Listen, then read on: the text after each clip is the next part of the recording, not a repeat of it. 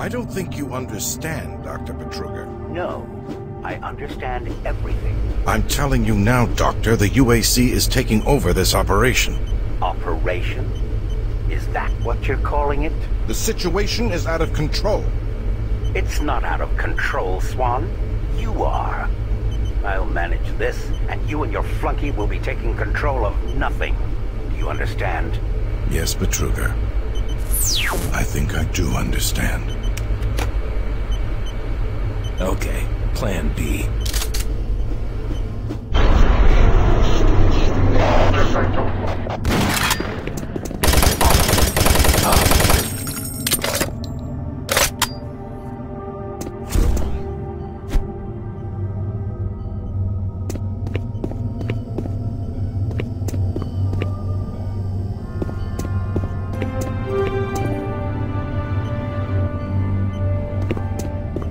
Welcome to the Alpha Labs. Formerly designated by the Union Aerospace Off-World Research Division, the Alpha Labs began construction on October 29, 2095, and became fully operational July 17, 2130. Originally created as the Prime Science and Research Facility, Alpha Labs are responsible for the development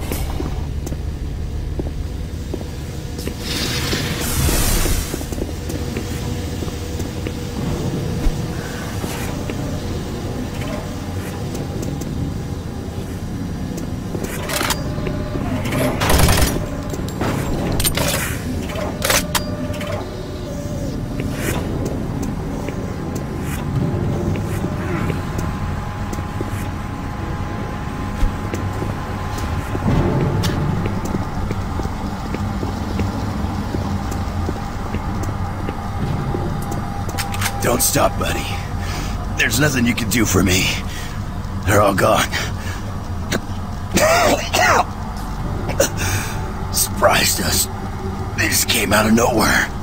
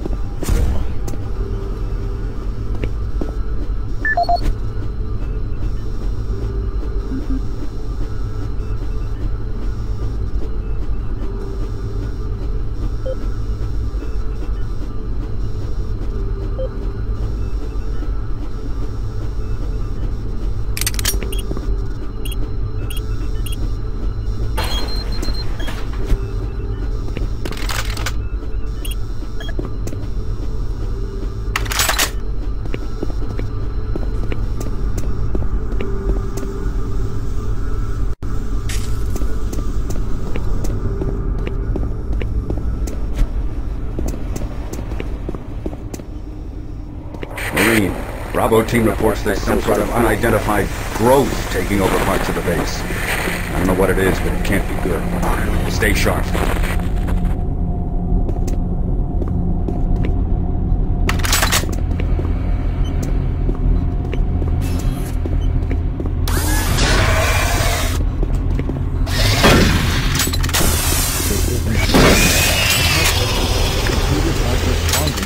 Get root access to the systems. We can't do it here. We'll have to access the system somewhere else. All right, let's go.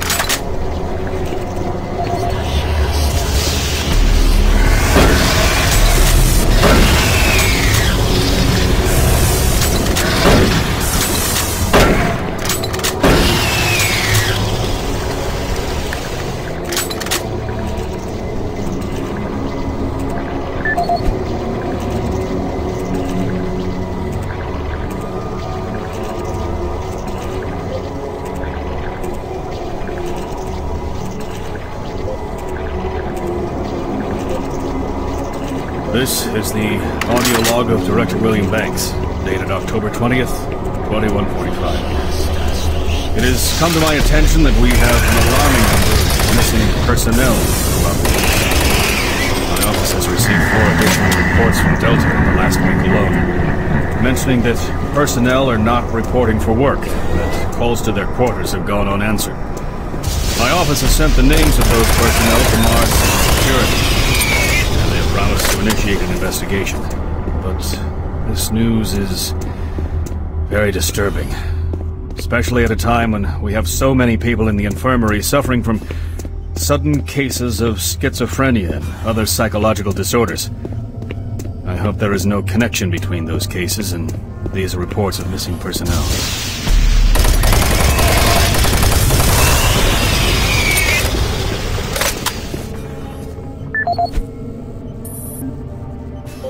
This is the audio log of Director William Banks, dated October 5th, 2145. It has been brought to my attention by Environmental Services that the recent power grid changes have caused many non-critical systems to malfunction. The report explains that this is due to either intermittent power outages or lower than optimal voltage input. It also says that sufficient power distribution to all non-critical systems is becoming more difficult to maintain thanks to Dr. Betruger and his so-called optimizations to the energy stores in and around the facility. I assured the director of the ES that I would file a report with Central Authority over this.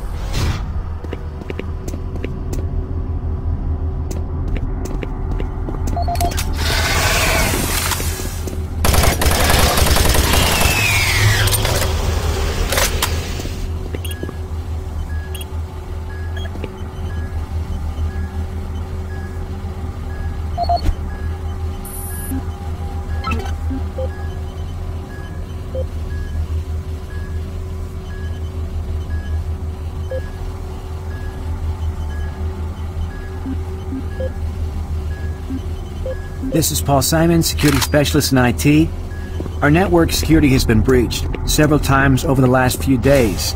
Now, it looks like it may have been going on longer than that, but whoever did this really knew what they were doing. They covered the tracks really well. I just happened to notice some log anomalies, or it would still be going on. The intrusion came on an encrypted carrier signal from the Delta complex. They piggybacked the virus on one of the supercomputer